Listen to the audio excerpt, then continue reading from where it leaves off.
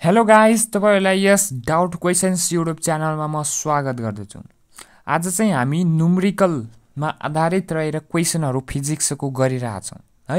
एकदमै इम्पोर्टेन्ट क्वेसनहरू लिएर आएको छु जुन चाहिँ तपाईँको फाइनल इक्जाममा सोध्न सक्ने प्रोभाबिलिटी धेरै रहेको छ। सो तपाईँहरूले यो भिडियोलाई अन्तिमसम्म हेर्नुहोला। र अहिलेसम्म पनि जस जसले लाइक गर्नुभएको छैन सब्सक्राइब गर्नुभएको छैन भने इम्पोर्टेन्ट क्वेसनहरू हरेक दिन तपाईँहरूलाई प्रदान गरिनेछन् त्यस कारण चाहिँ यो च्यानल एकदमै इम्पोर्टेन्ट रहेको छ र यसलाई सब्सक्राइब गरिदिनु होला है। सो आज चाहिँ हामी एउटा इम्पोर्टेन्ट क्वेसन लिएर आएका छौँ जुन चाहिँ तपाईँको इक्जाममा सोध्न सक्ने प्रोभाबिलिटी धेरै छ। र यो क्वेसन हेर्न सक्नुहुन्छ तपाईँहरू। के भनेको छ भने क्वेसनले at what temperature with the Kelvin scale reading double the Fahrenheit scale reading भनेको छ कति टेम्परेचरमा चाहिँ क्याल्भिन स्केलको चाहिँ रिडिङ फरेनहाइट स्केलभन्दा के हुन्छ? डबल हुन्छ भनेको छ। अब हामी पहिला सबै भिडियोको जस्तै कन्सेप्ट बुझौँ। हरेक भिडियोमा हामी पहिला चाहिँ कन्सेप्ट बुझ्छौँ। कन्सेप्ट बुझ्छौँ है। अब यहाँ कन्सेप्ट बुझौँ पहिला। तपाईँको टेम्परेचर रिडिङ गर्नका लागि तिनवटा चाहिँ स्केलहरू रहेका छन्। एउटा डिग्री सेन्टिग्रेड फरेनाइट स्केल अर्को चाहिँ क्याल्भिन रहेको छ। तिनवटा क्याल यो चाहिँ स्केलहरू रहेका छन्। अब हामीलाई यहाँ क्वेसनले के भनेको छ भनेपछि क्वेसनले के भनेको छ कति टेम्परेचरमा चाहिँ क्याल्भिन स्केल चाहिँ के हुन्छ? फरेनाइट स्केलभन्दा डबल हुन्छ भनेको छ। फरेनाइट स्केलभन्दा डबल हुन्छ भनेको छ। जस्तै टेम्परेचर कति टेम्परेचर भन्नाले जस्तै पाँच हुनसक्छ पाँच डिग्री सेन्टिग फरेन यो चाहिँ क्याल्भिन हुनसक्छ। टु डिग्री क्याल्भिन हुनसक्छ। सिक्स डिग्री क्याल्भिन हुनसक्छ। या चाहिँ तपाईँको एट्टिन डिग्री क्याल्भिन हुनसक्छ। फरेनहाइट पनि हुनसक्छ जुन पनि हुनसक्छ है? सो हामी चाहिँ पहिला कन्सेप्ट बुझौँ। तिनवटा चाहिँ स्केलहरू हुन्छन् जुन चाहिँ तपाईँको टेम्परेचर मेजर गर्नका लागि। र चाहिँ त्यो टेम्परेचर मेजर गर्नका लागि तिनवटा युनिटमध्ये हामीलाई के भनेको छ इन दुईवटाको रिलेसन दिएको छ। फरेनहाइट स्केल र क्याल्भिनको। अब क्वेसनले के भन्यो भने कति टेम्परेचरमा चाहिँ क्याल्भिन स्केल फरेनहाइट स्केलको डबल हुन्छ भनेको छ। जस्तै यो के भने के हो? क्याल्भिन स्केल हो र यप भने के हो? फरेनहाइट स्केल हो। कति टेम्परेचरमा क्याल्भिन स्केल चाहिँ फरेनहाइट स्केलको डबल हुन्छ भनेको छ। फरेनहाइट स्केलको के हुन्छ? डबल हुन्छ। भन्नुको अर्थ Fahrenheit scale two Fahrenheit scale is equal to एउटा क्याल्भिन हुन्छ। दुई फरेनाइट स्केल एउटा क्याल्भिन। डबल भने यही हो है? इज इक्वल टु हुन्छ भने छ है? भन्नुको अर्थ यदि हाम्रो तपाईँको फरेनाइट स्केल फाइभ भएपछि क्याल्भिन स्केल कति हुन्छ? Five into two is equal to ten. भन्नुको अर्थ दुईले बढी छ भने छ है? डबल छ भने छ यो। फरेनाइट स्केलभन्दा यो चाहिँ क्याल्भिन स्केल डबल छ भनेको छ। है? अब चाहिँ हामी सपोज मानौँ। मानौँ चाहिँ यदि फरेनाइट स्केल यक्स भए भए यसको double two x is equal to Kelvin scale हुन्थ्यो है? सो अब हामी चाहिँ पहिला चाहिँ हामी यहाँ सोलुसन लेखौँ। सोलुसन सोलुसनमा के मानौँ भनेपछि हामी के मान्छौँ? यो फरेनाइट स्केललाई यक्स मान्छौँ त्यसै गरी क्याल्भिन स्केल टु यक्स भइहाल्यो। डबल भनेको छ क्वेसनले let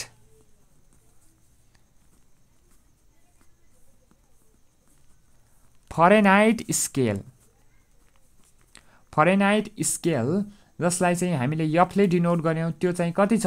यक्स डिग्री फरेनहाइट भनेर हामी सपोज गरौँ यक्स डिग्री। अब चाहिँ तपाईँको क्याल्भिन स्केल क्याल्भिन स्केल जसलाई चाहिँ हामीले केले डिनोट गऱ्यौँ त्यो कति छ? क्याल्भिन स्केल अब कति भइहाल्यो? टु यक्स भइहाल्यो। टु यक्स क्याल्भिन भइहाल्यो। यो किन भइहाल्यो? एकर्डिङ टु क्वेसन क्वेसनले भनेको अब हामीलाई वी नो द्याट हामीलाई के थाहा छ? We know that we know that अब यहाँ तपाईँहरू दुईवटा फर्मुलाहरू युज गर्न सक्छौँ। एउटा के फर्मुला भनेको यहाँ हेर्न सक्नुहुन्छ। एउटा चाहिँ F minus thirty two upon one hundred eighty is equal to K minus two hundred seventy three upon hundred एउटा यो फर्मुला युज गर्न सक्छौँ। होइन अर्को भनेको F minus thirty two upon one hundred sorry F minus thirty two upon nine is equal to K minus two hundred seventy three upon फाइभवाला formula use गर्न सक्नुहुन्छ। हामी यो तलको फर्मुला पनि युज गर्न सक्छौँ माथिको पनि युज गर्छौँ है? अब चाहिँ हामी एकदम यो छोटो एकदम सानो नम्बर छ तलको युज गरौँ है? सो हामी के भन्न सक्छौँ? वी नो द्याट हामीलाई के थाहा छ भनेपछि F minus thirty two upon nine is equal to K minus two hundred seventy three upon five अब यहाँ यफको भ्यालु पनि छ के को भ्यालु पनि छ। हामी यहाँ हेर्न सक्नु हुन्छ तपाईँहरू हामीले यहाँ सपोज गरेका छौँ। सपोज यफ भने के छ? यक्स के भने टु एक्स अब हामी यहाँ भ्यालु पुट गरौँ यफ भनेको यक्स यफ भनेको यक्स छ। अरू जस्ता त्यस्तै के भनेको टु एक्स छ। अरू जस्ता त्यस्तै। अब चाहिँ यहाँ क्यालकुलेसन गरौँ। अब के हुन्छ भने यो फाइभले क्रस मल्टिप्लाई हुन्छ। फाइभ र नाइनले क्रस मल्टिप्लाई हुन्छ। अब चाहिँ यसमा चाहिँ हामी क्रस मल्टिप्लाई गर्दाखेरि के हुन्छ? फाइभले एक्सलाई five x minus five x minus फाइभले thirty टूलाई यो भनेको वान हन्ड्रेड सिक्सटी भइहाल्यो। इजिकल टु यस नाइनले योलाई गर्नुहोस्। नाइन टु जा eighteen x minus two hundred seventy three nine कति भइहाल्यो? यो भनेको टू फोर फाइभ सेभेन भइहाल्यो है? अब चाहिँ तपाईँको अल्जेब्राको टर्म जस्तै युज गर्ने यक्स यक्स एउटातिर ल्याउनुहोस् र चाहिँ कन्सटेन्ट कन्सटेन्ट अर्कोतिर लग्नुहोस् है? यो eighteen x minus five x is equal to two hundred four sorry two thousand four hundred fifty seven minus one hundred sixty. यो चाहिँ कति भइहाल्यो? अठारबाट पाँच घट्दाखेरि कति हुन्छ? तेह्र। तेह्र एक्स इजिकल टु यो घटाउँदाखेरि तपाईँको two thousand two hundred ninety seven दुई हजार दुई सय सन्तानब्बे। अब चाहिँ यक्सको भ्यालु गाड्नु छ भनेपछि हामी two two nine seven divided by thirteen गर्छौँ। जुन चाहिँ तपाईँको आन्सर कति आइहाल्यो? One seven six point seven answer आइहाल्यो। अब ह्यान्स हामी के लेख्छौँ भनेपछि ह्यान्स या दियर फोर भनेर जे पनि लेख्न सक्नुहुन्छ है। ह्यान्स हामी के लेख्न सक्छौँ? यक्स भने के रहेछ? अर्थात् यक्स भने हामीले के मानेका छौँ? यक्स भने चाहिँ हामीले फरेनाइट स्केल मानेका छौँ। हामी फरेनाइट स्केल लेख्छौँ। ह्यान्स